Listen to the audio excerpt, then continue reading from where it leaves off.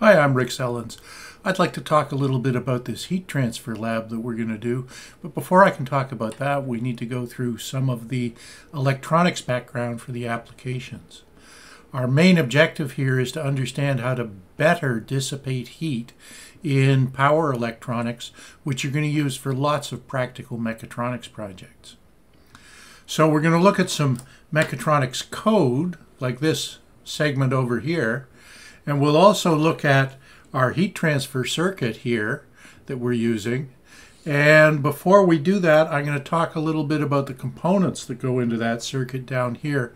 And the one we'll be using is this regulator over here. But another way to manage the same sort of circuit is with a switching MOSFET, uh, metal oxide semiconductor field effect transistor that you can use to switch the power on and off. So let's concentrate for the moment on the circuit down here. This component here is a regulator. This component over here is a metal oxide semiconductor field effect trans transistor, MOSFET. And you can see that they both look very much the same. They're in the same kind of package, but they do two very different things. If we were trying to supply our load, some kind of a load that we're needing some, some electrical current uh, to, to operate, we have two approaches we could take. One, we could reduce the voltage to whatever voltage we need, like this 5 volt level that we're going to use across this load from whatever we start with, maybe as much as 24 volts DC supply. And the regulator allows us to do this. It's basically a simple circuit, standalone, does nothing, uh, needs no other uh, inputs, and it will take whatever DC input you give it and reduce it down to a specified voltage. This one's a 7805, which means that it reduces the voltage to 5 volts from this 24 volt DC input. The way it does that is essentially by just putting a big resistance uh, across there to bring that voltage down and dissipate the excess power. The result is that if we wanted 100 milliamps of current to flow through this circuit, then we would wind up uh, needing to dissipate about 1.9 watts of energy up here in the regulator, and we're only generating uh, about 0.5 watts of useful work here in the actual load. So the result is an efficiency down around 26%, which is terrible if we care about the efficiency. Why would we ever use a regulator? We use a, regulators a lot because they're simple and we use them in applications where we're going to reduce the voltage, usually not by quite as much as this, and we only need a small amount of current, like this 100 milliamps. So yes, we are throwing away 1.9 watts of energy. That's not such a huge amount of energy, particularly if we're uh, if we're only building a one-off prototype. Where will you find regulators? Just about everywhere that you need to stabilize the operating voltage for a device. So for example, on your microcontroller here, there will almost always be a 3.3 volt regulator that's going to take the USB voltage of 5 volts down to 3.3 volts. And it will have to dissipate a small amount of heat doing that. It'll suck up about uh, one third of the energy that was available in that 5 volt supply, and that's probably going to be okay if you're talking about any significant amount of power, you're going to want to switch that power on and off more effectively. And that's where a switching transistor comes in. If we have 5 volts continuously across this load, we might be able to get the same behavior out of this load up here by applying 24 volts, but only applying it about a fifth of the time. With pulse width modulation, we can switch this load on and off very quickly. And for things like LED lights or resistive heating or uh, electric motors, we'll still get the same behavior from about one fifth of 24 volts DC, about 5 volts, as we would from having it be a continuous 5 volt source. Problem is we need to spend a little bit more money on this transistor.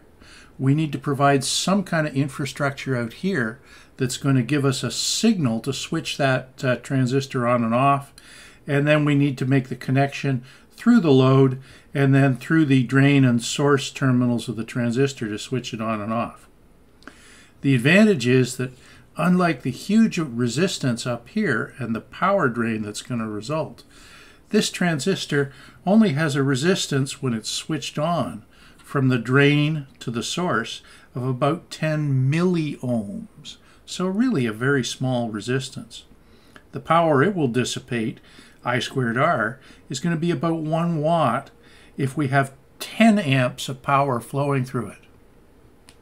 So it'll dissipate less heat with 100 times the amount of current flow. So this is a much more efficient device that allows us to make much more effective use of our DC power. It's got an efficiency of about 99.6%, switching it on and off to adjust the power going into this load. This is the type of device you'd almost be always be using in your power electronics. However, for this device to do our heat transfer experiment and dissipate one watt, we would have to have our load dissipating something like uh, 100 watts. We'd have a large load, we'd have a large DC current, and it's easier for us to get the same effect from the same package, dissipate more heat from this regulator with a much smaller load. So that's what we're going to do in this experiment.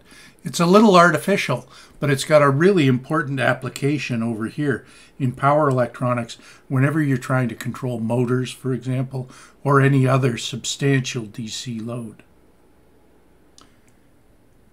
We've taken one of these regulators and attached a thermistor to it with a rivet so that we can measure the temperature right here which is going to be very close to the temperature of the uh, metal body of this, uh, this thermistor package.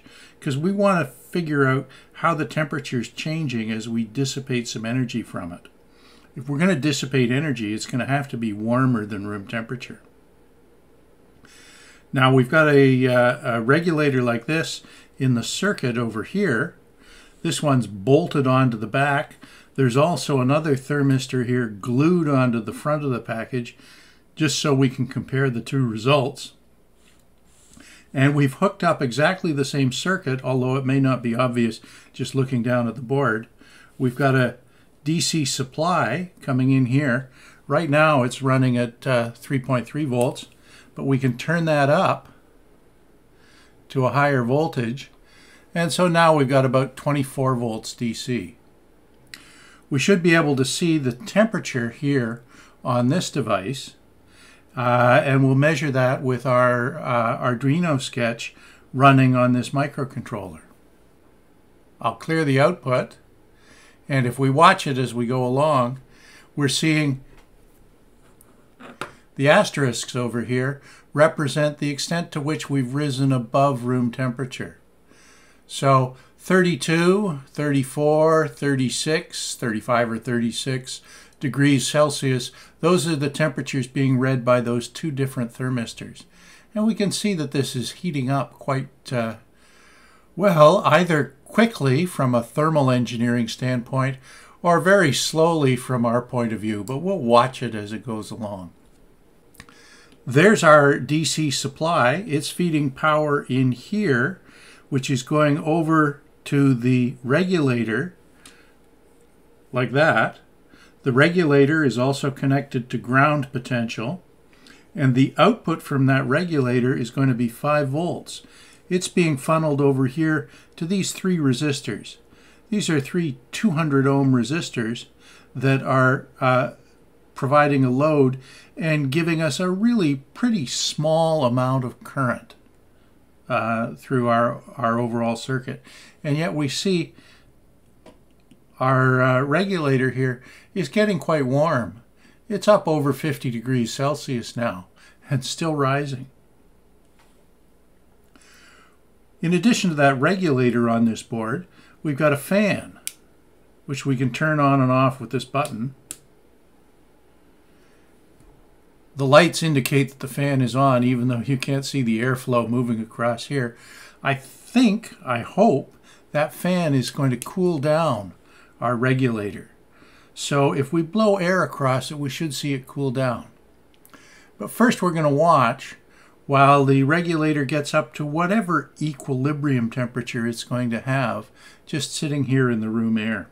We've waited and eventually this uh, uh, regulator here got up to a temperature approaching 90 degrees Celsius.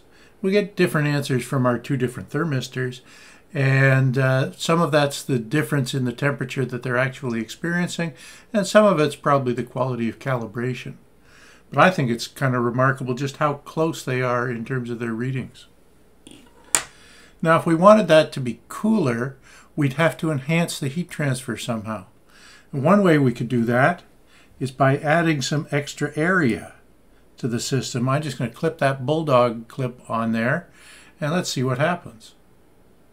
With a little luck, there'll be some heat transfer into the bulldog clip, and that'll cool down the regulator.